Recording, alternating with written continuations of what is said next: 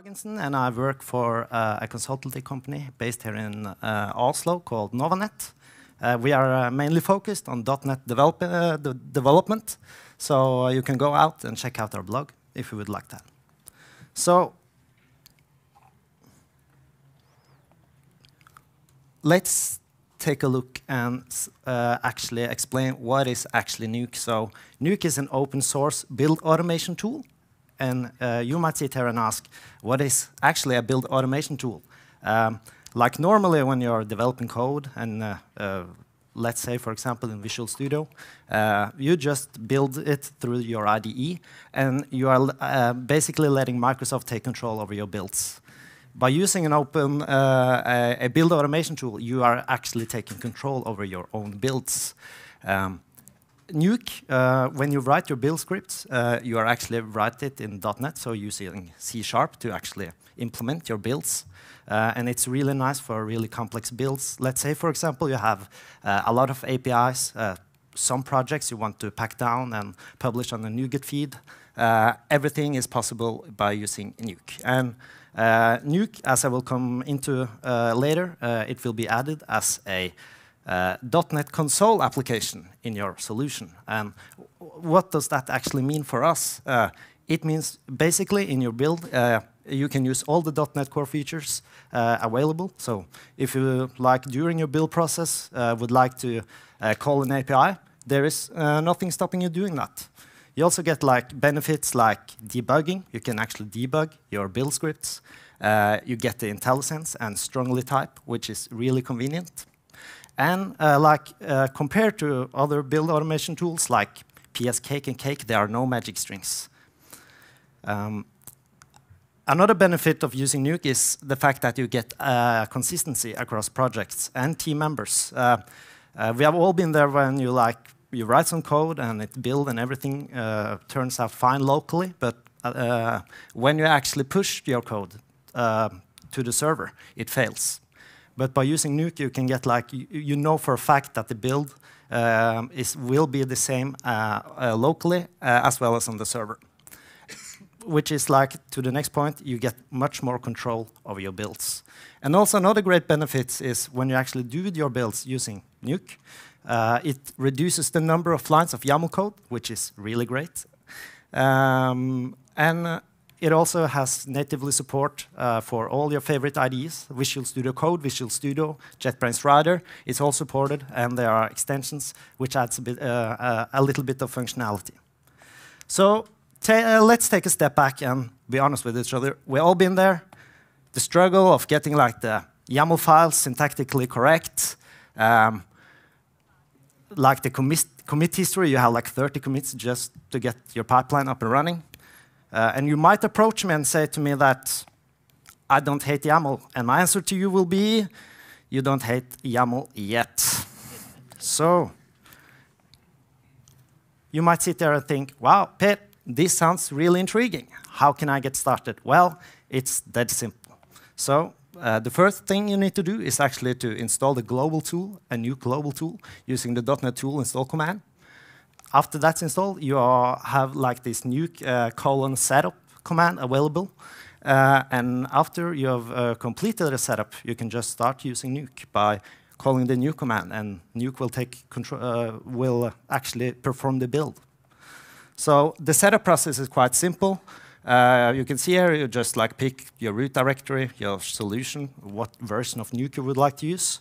Um, um, I always use the default um, values. It works nice for me. And after you actually completed the setup process, uh, you will see like you have uh, will get a build uh, project in uh, your solution. And uh, there's a lot of files there, and if you actually want to try get uh, to use Nuke, I would recommend like looking into it because. But since we are kind of short on time today, I will mainly focus on the build.cs file. So this is the first build.cs. Uh, when you completed the setup, this is what you will get in the build.cs file. So it's kind of just the template. As you can see here, we have these targets Uh, a target is compared to like when you're writing YAML, you have like these steps. Uh, you do a clean project, you do a restore, you do a build. This is the same, uh, but here is, is strongly typed. Uh, you can also see like uh, in the target clean, uh, you can have the dot before. That's actually um, declaring the dependencies. So for example, if you would like to uh, you must uh, perform a clean before a compile. You can make that. Uh, you can say that the compile target is actually dependent on the clean target. I've created a little de demo project um, I want to show you called Nuke. Uh, we, we, will take a look at the build.cs file. Um, I will show you a command which lets you actually uh, visualize the uh, dependency relations. And uh, at the end, I will actually run the build and show that to you. So let's take a look at this project. Oh, wow.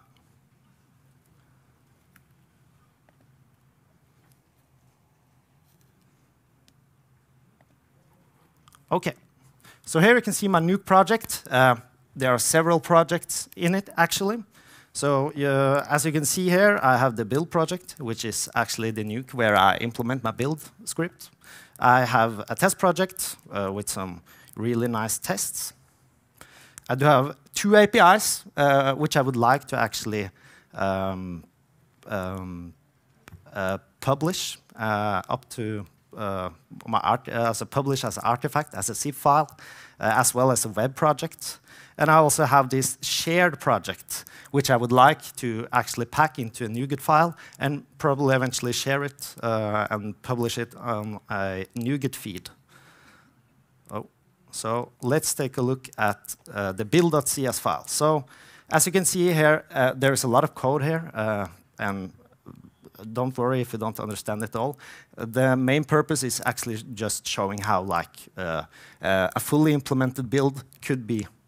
So uh, you can see here uh, we have like uh, different uh, um, properties here, like the solution properties, which is actually this is a built-in Nuke feature, which it, it, makes it, it lets the let it know what is actually the solution. Um, Nuke is also great to use in your CI CD tools. It supports like GitHub Actions, Azure Pipelines, you name it. Uh, in my example, I use Azure Pipelines, uh, which also brings functionality like you can push uh, your NuGet files uh, to the artifact folder in uh, Azure DevOps. Um, I also, in this implementation, I basically have two lists. So I have this uh, applications list where I list uh, what applications I would like to uh, zip and push uh, as an artifact during my uh, build. And I also have this NuGet packages uh, list, which is all the projects that I want to pack down to a NuGet file. All the basic steps are here, and you can also see like I have this dependency. So for example, restore is dependent on clean. Um, and like the main implementation of what you want to do in each target is basically uh, implemented in the executes. Executes, uh, as you can see here. I also wanted to show you that this is, as you can see, it's only C sharp. So you have like uh, the possibility of, for example, here, uh, just using a normal for each loop. You can use uh, if, else conditions, you name it, you can do everything uh, you can do in normal C sharp. Um, so as you could probably see here, there's a lot of targets, and there are uh, there are dependency relations between them. Um, but Nuke actually has a really great uh, command that you can use to actually visualize these dependency relations. So uh, if you run the run uh, the Nuke dash plan command, it will take some time, and you will get this. And then you can see uh, what is actually happening, what are the steps of your builds, and you can see uh, which targets are dependent on the other targets. And uh, when you're really happy with your uh, implementation and you're ready to let try actually running the build, it's quite simple. Uh, you can uh, do the nuke command as I uh, probably should have said, you have like this main method here. So if you just run nuke without uh, actually targeting a target, uh, the nuke will run uh, the target, which is um, um, uh, set there. Like in this example, it's the compile. But if uh, in what I will show now, I will show you the publish target. Because as you could see here, when running the publish targets, if you like hover over it, you can see all the targets which are going to be run. So let's give it a try. Uh, let's pray to God that this will work. I had some problems just before this presentation, so yeah, it's looking fine. So as you can see, it's uh, doing all the steps, now doing some compiling, running all the tests, packing uh, the one share project I had in my solution, and it's published all the uh, applications which I have uh, had um, added to that application list. So we could just give it some time. And eventually, after like the build uh, is finished, you get this nice overview. And I also have added some reports here. Uh, I added MinVer just for versioning, so I'm uh, doing some versioning on like the web project. And you can also see how many packages that have been packed to a NuGet file, and also the application which have been published. Uh, and when you actually want to do this in your pipeline, and as I stated earlier, uh, it reduces the amount of lines of YAML you can write. So let's take a look at uh, the YAML file for this project. Uh, this is everything. So basically from line 8 to down is basically where the magic happens. So basically I'm just calling like this uh, the build CMD file is actually being added to your project when you uh, perform the, the setup.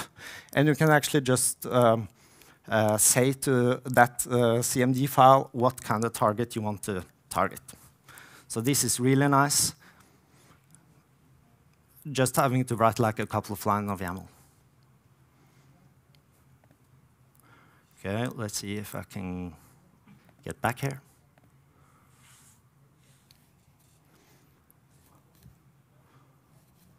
There we go. So what are the key takeaways here? Well, uh, the fact that you can write and like define your builds uh, using C Sharp, it's really great. Especially here, we are at the .NET uh, Developer Conference. Uh, it's really, really powerful. Um, on the other hand, uh, if I would just like uh, develop a simple console application, I would probably, you don't probably have to use Nuke. You can just use like the MSBuild, which is um, being run as standard inside your IDE. So it's best for a complex solution with several components. It's highly customizable, uh, and it, uh, if you get like very specific uh, build requirements, it's really great to use Nuke, and it's easy to incorporate into your build pipelines. Uh, another benefit, which I haven't like talked that much, is that you can actually create uh, a, a, NuGet file of uh, uh, like declaring your builds, and you can share it among projects and team members. Uh, you can install that NuGet file, uh, run it, and like all the builds across different projects and team members will be exactly the same. So that was what I wanted to say. Any question, you can contact me on LinkedIn. My name is Per Dahl Thank you.